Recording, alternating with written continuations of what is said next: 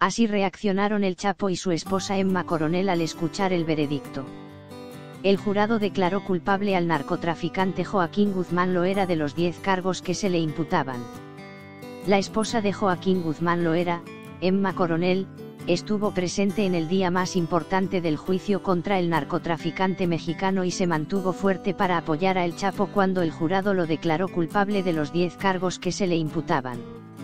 Sentada en la segunda fila de la Corte de Nueva York, EEU, Coronel rechazó los pañuelos que le ofreció un abogado previo a la lectura del veredicto porque, según reporteros en el recinto, ella no iba a llorar porque nadie había muerto. Vestido con un traje negro, camisa gris y corbata negra, el Chapo miró atónito cuando después de 30 horas de deliberaciones, finalmente llegó la lectura del veredicto del juez. Cuando fue declarado culpable de los 10 cargos que se le imputaban, el capo se llevó una mano al corazón y después la levantó en señal de despedida a su esposa, quien con lágrimas en los ojos levantó el pulgar en señal de que todo estará bien. Minutos después, Guzmán Loera se despidió uno a uno de los 12 ciudadanos que integraron el jurado. Respuesta de la defensa. Tras conocerse el veredicto, la defensa de El Chapo informó que apelarán la culpabilidad del capo mexicano. Joaquín El Chapo Guzmán es escoltado en Ciudad de México, el 22 de febrero de 2014 revelan los detalles de la vida ordenada de El Chapo en las montañas de Sinaloa. Luchamos por Joaquín, él estaba muy consciente de lo que iba a pasar hoy aquí, dijo el abogado del capo, Eduardo Valarezo, tras conocerse el veredicto en la corte de Brooklyn. Jeffrey Lichtman, otro de los abogados de Guzmán Loera, dijo que fue un placer representar al capo y aseguró que seguirán peleando hasta la muerte y dando la cara en su defensa. La sentencia definitiva se dará a conocer el 25 de junio, aunque se prevé que el Chapo sea condenado a cadena perpetua por delitos como conspiración internacional para producir y distribuir cocaína, heroína, metanfetaminas y marihuana, entre otros cargos. Así fue el último gesto de El Chapo a su mujer antes de ir para siempre a la cárcel. Y así le respondió Emma Coronel. Poco después de mediodía, un secretario judicial salió de una sala y un periodista le leyó los labios para averiguar que había al fin veredicto. Tras seis días de deliberaciones, cuando la defensa podía empezar a soñar con que uno o varios de los jurados bloquearan la decisión y el juicio, que había durado casi tres meses, fuera declarado nulo, al fin parecía haber unanimidad.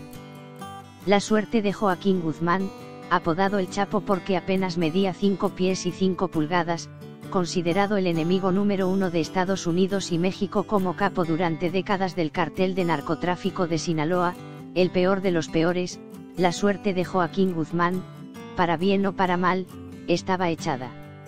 A las 12 y 25, según relata el equipo de reporteros de Noticias Telemundo, que durante semanas aguantó el frío y la lluvia. De madrugada o a última hora de la tarde, para llevarle a su hogar la palabra de los protagonistas, el juez federal Brian Cougan entró en la sala, todo el mundo en pie. Poco después, era llevado ante su presencia el Chapo, que entró saludando con pases de la mano.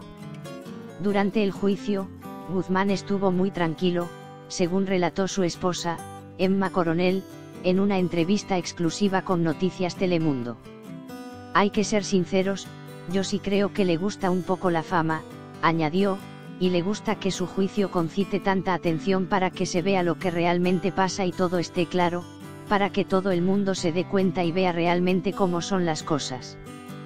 Coronel, a quien durante el juicio se vinculó a las actividades delictivas de su marido aunque ella en aquella entrevista negó haber visto nunca nada extraño en casa, se decía también tranquila. Y soñaba con una sentencia que permitiera al matrimonio vivir como siempre normal, una vida normal como cualquier persona, hacer las cosas como siempre, como cualquier persona.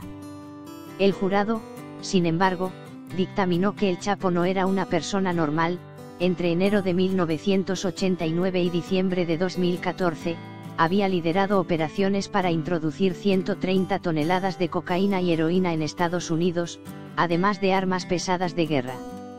Había usado sicarios para cometer cientos de actos de violencia en México, e incluso había golpeado, asesinado y quemado los cuerpos de dos personas, según un testigo, o había enterrado vivo a otro. Además, había lavado millones de dólares, y había sobornado a oficiales mexicanos, según denuncias escuchadas en el juicio hasta llegar a un expresidente del gobierno. Tranquilos como estaban durante el juicio, han escuchado el veredicto Guzmán y su esposa, que tuvo que soportar en directo los relatos sobre infidelidades múltiples de su marido o cómo la espiaba el teléfono celular. Tranquilo, sin un gesto, mirando fijamente al jurado, ha escuchado el narcotraficante como el juez leía las ocho páginas en las que el jurado había respondido a las 56 preguntas que iban a decidir su destino. No hubo aspavientos ni drama según iban cayendo los cargos, de uno en uno hasta diez, que el próximo 25 de junio, cuando el juez dicte la pena, le condenarán con toda probabilidad a pasar el resto de su vida en una prisión de máxima seguridad.